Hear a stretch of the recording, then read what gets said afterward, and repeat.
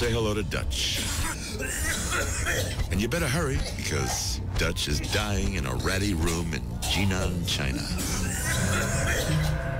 Two weeks ago, this antiquities trader, aka Tomb Raider, and his sidekick Kim struck gold.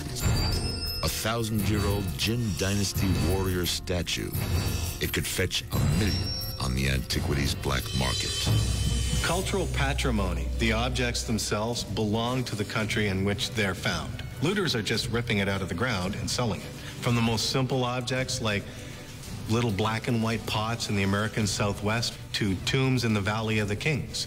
It's rampant wherever there are material objects and there's a demand for the objects. Dutch didn't believe in curses. He believed in purses. Look at that. Two weeks later, Dutch was dying, and it wasn't from any curse.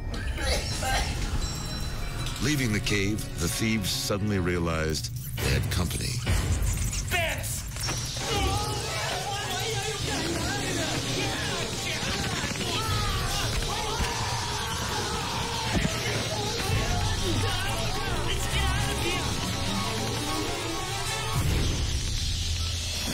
Dutch got the statue and a little something extra from the bats.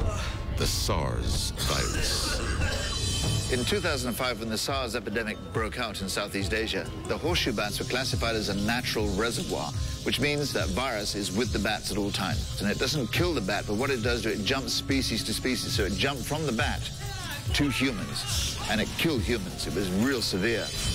When the bat bit into Dutch, the SARS virus entered his bloodstream.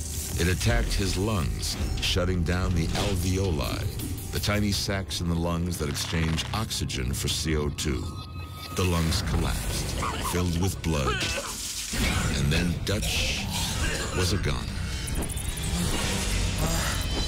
Dutch chose the life of a tomb raider, but in the end, he got jonesed.